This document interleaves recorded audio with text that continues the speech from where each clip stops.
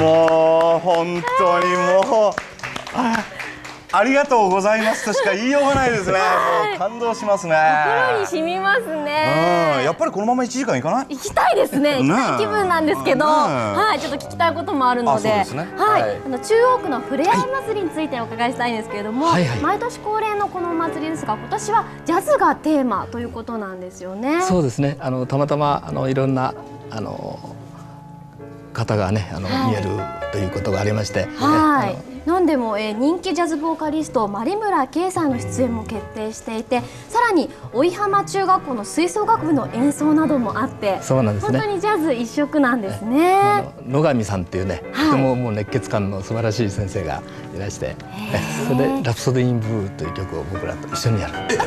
中学生の吹奏楽部と一緒にそうです。ジョイントで？はい。うわ。えー、なんですかね。中学生と一緒にジョイントって。いやいやもう叶わないかもしれないですよ僕は。ええまたご謙遜ね。楽しそうですね私もできるんだったらね、なんか一緒に弾きたいぐらいですけどね、カスタネットぐらいしかできないんでね。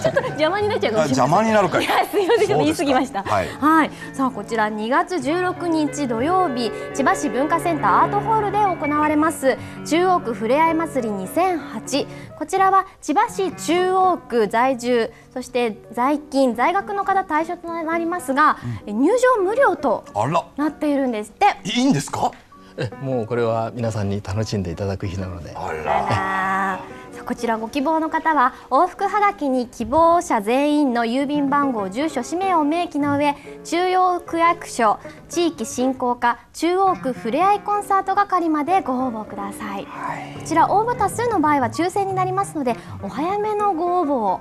ねおすすめしますよ。いかがでしょう？やっぱり早めに応募した方が良さそうですか？ですね。多分もうあの入りきれないのは目に見えてる。あら、皆さん、だそうですんでね、ぜはい。ひ、もう今ね、番組終わったらすぐ書いてくださいね。ぜひぜひお待ちしております、また大原さんがオーナーでもありますライブハウス81クラブはこちらにあります音楽だけじゃなくてね、あの料理も評判いいらしい ですね。割とこだわってますから。あ、そうですか。はい。うわーこんな素敵な音楽を聴きながらお食事もう食べね、ると食進む進む。進んじゃいますねお酒も進む進む。大変でございます、ねえそこに行くとあの大原さんたちのこの音楽ってのは聴けるんあですか？のそうです毎日今千葉に僕がいる限りやってますので。あ、そうですか。はい。うんへえ、行きましょう行きましょう。ぜひですねはい。はいでは最後にテレビをご覧の皆さんに何か一言お願いできますか？あのぜひね皆さんで参加してもらえればと思っております。お待ちしております。